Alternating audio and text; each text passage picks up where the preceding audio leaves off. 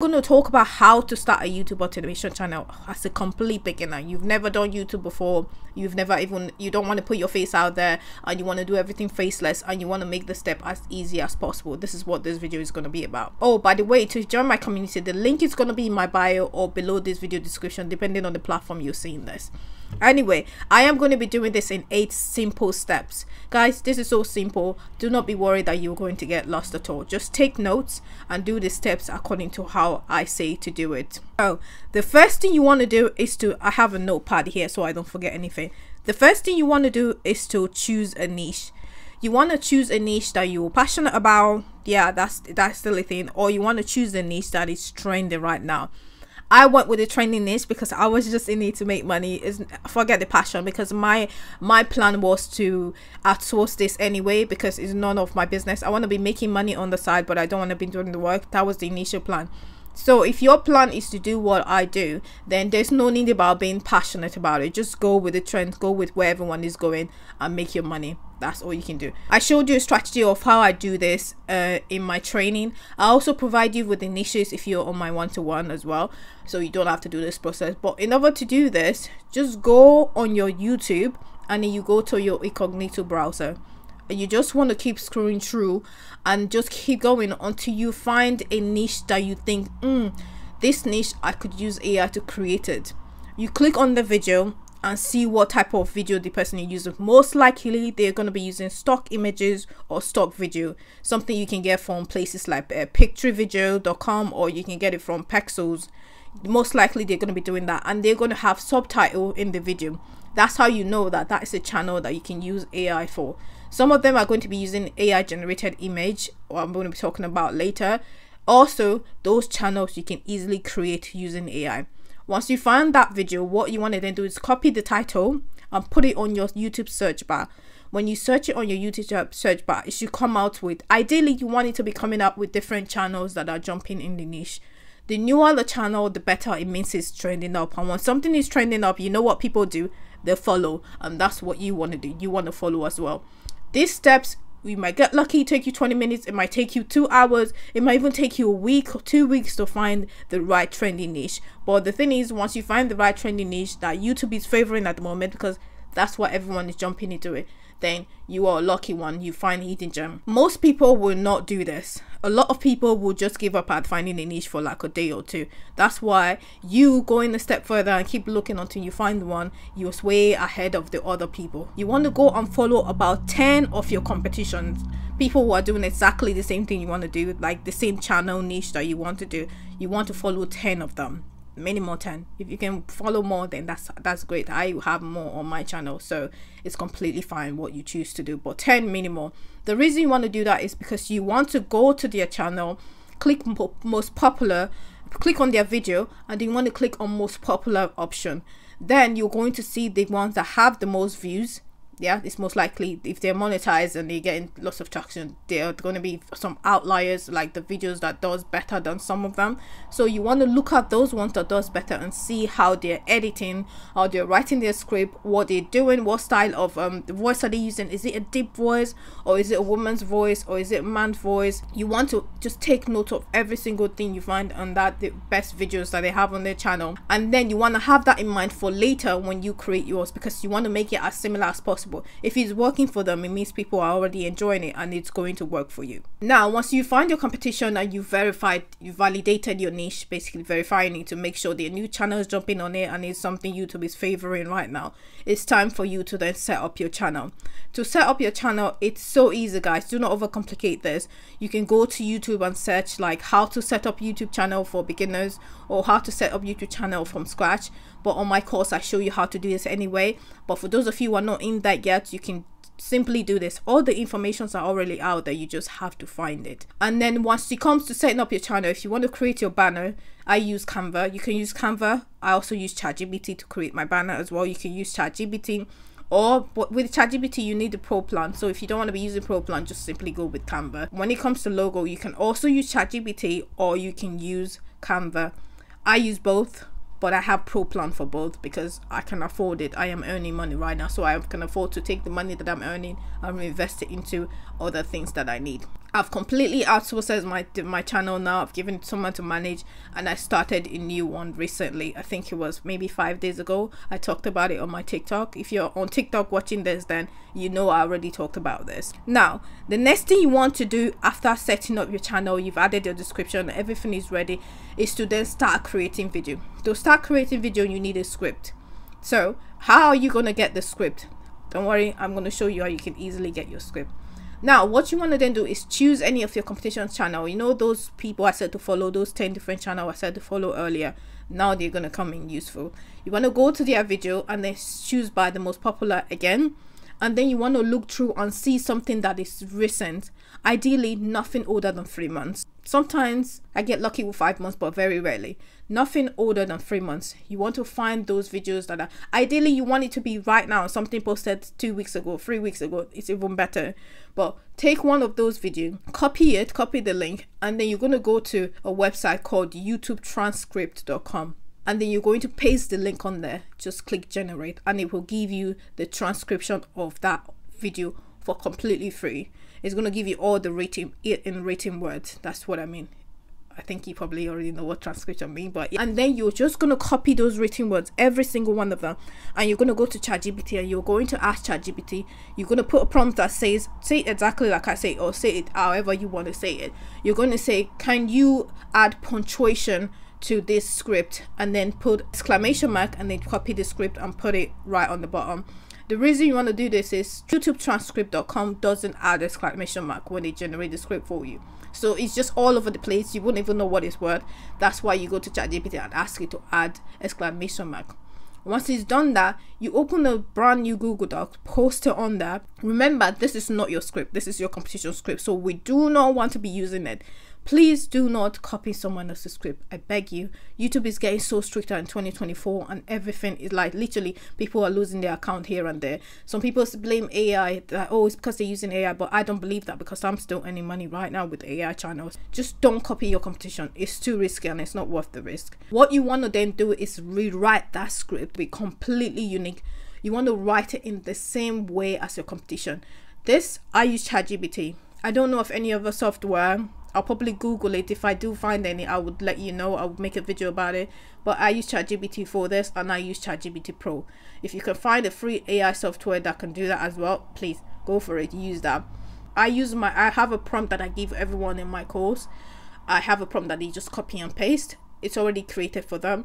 That's the prompt i use. I just copied the prompt that i normally use to recreate basically just telling ChatGPT to recreate this script in a certain amount of words in a certain way. That's what the prompt says. When i paste it on there i then copy my competition script and then i'll paste it on the bottom of it so ChatGPT know that that's the script i want it to recreate for me and then click generate and then click yeah that icon. It just goes and start writing sometimes what happens is ChatGPT crashes if the script is too long. So what you want to then do is just on the continue button, it will continue to generate it for you. And that's how you will get your script. If you could generate a script that is not enough, the number wise, like because you want to get as close to your competition's number as possible because you want it to be ideally the same length or just a little bit lesser or it can be a little bit more.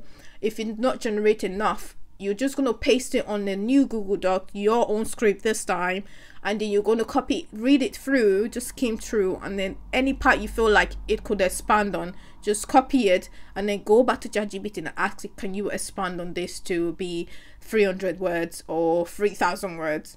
And then it will re-expand it for you and then you can just copy and paste it in your script. Once that is done make sure you skim through it because sometimes ChatGPT intend to repeat itself and you don't want that because they point it out. I've done it before. They will watch the video and then will start pointing out like you're repeating yourself or you're making spelling mistakes. Even though i don't care it brings me more more um what's it called? More attraction i guess. But sometimes i'm like oh they're pointing it out but so try your best to do as best as you can. It's fine if you make mistake don't worry. Haters will always hate now once that is done when your script is created it's time to create your voiceover. To create a voiceover this part is so simple. You don't want to be reading yourself because obviously we're using ai for everything.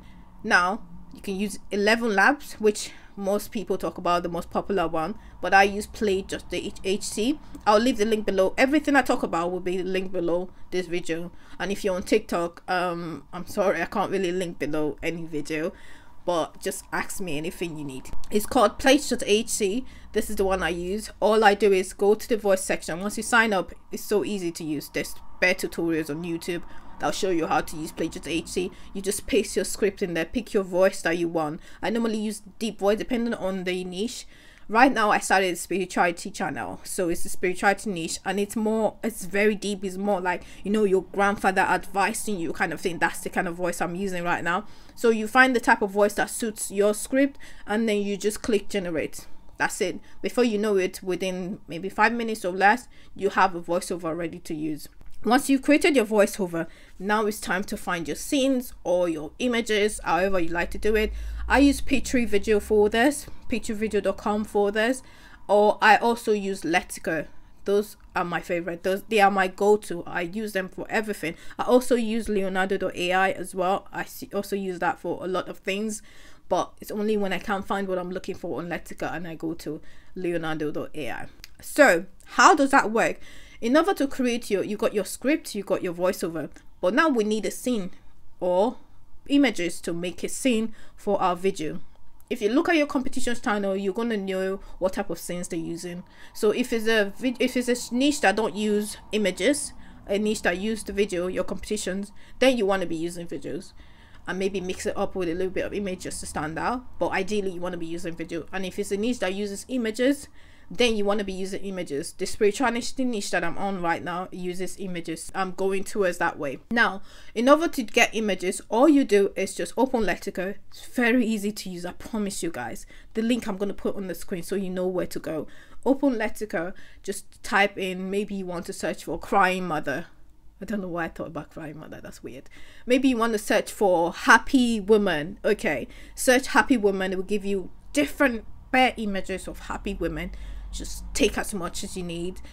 Use it according to what it says on your script. So let me explain that properly. For example on your script it's saying once upon a time there was a woman who lived in a small village just an example. Then you want to go and look for a, an image of a woman and a small village. So when he's saying that once upon a time there was a woman that lives in a small village you put once upon a time there was a woman and then live in a small village I hope you understand what I'm trying to say. I hope I'm making sense. So you basically just want the images or the videos to correlate with what's being said on your audio. Now, if they're only using scenes and not like videos and not images, what you want to do is go to pictoryvideo.com or if you want to use the free version, use Pixel. I like things to be easy and rapid, so that's why I use Pictory because all I have to do is just paste my script there and it gives me a video and then I make little changes and that's it. I can't be asked to go to Pexo and save and go back and save and go, that's long for me. But if you have time for that, my love, go for it do that at the end of the day you're saving money as well because Pictory is paid for you know if you can't afford to do that at the start what you want to then do is just save it according the same way as the image that I talk about just save it according to what's being said on the video and just make sure it correlates. Some videos are easier to create than others. Some videos don't necessarily need the same type of image. If it's like a meditation inspired type of video you know the meditation prompt where they're like oh you are feeling good right now. Or oh, you've had a good night. Today is going to be a beautiful day. Those kind of video you don't need a specific type of scene you just need someone meditating. You can just have someone meditating all through. So those are the kind of videos that are easier to create. Ideally i i i want to be creating those kind of videos especially at the start. But then again it doesn't necessarily mean you go viral just because you know what i mean? You can never guarantee it. And once that is done it's time for you to edit your video. See guys, everything so far, hopefully you've found it easy. If you don't understand it, just go back to the video from the start and just watch it again. Watch it as much time as, as you need to until you get it and take notes. It is easy. Stop making excuses, please. You got this. Now, for editing, I have CapCut and I have also Filmora. You can use CapCut or you can use Filmora. I use both. I'll explain to you why I use both. Now, when it comes to adding your image and your, on audio together, I use CapCut for that. I just drag in simply. If you want to learn how to edit in, I already have it on my course, but you're, you're not in my course. If you're not in my course, then please YouTube it. Just search how to edit video with CapCut, how to edit video with Filmora. It's so easy there's tutorials that i will show you how to do it what you want to do is drag your scenes or your videos and everything your audio onto CapCut and then you're going to drag it on the timeline and simply just layer it the way I said. Remember when I said if it's saying once upon for once upon a time there was a woman, put once upon a time. They put an image of a woman and they put an image of a village and just layout it on your timeline like that. Click auto generate subtitle and then I'll look through it because sometimes CapCut makes some really weird things like they just make up things subtitle. They would change it from what's being said. I don't know why. So I'll just keep through it to make sure the subtitles actually make sense and then when that is done I export it and simply upload it to my video to my channel not my video that's it that's all I do the funny thing is one of my best viral video actually the first viral video that goes went viral for me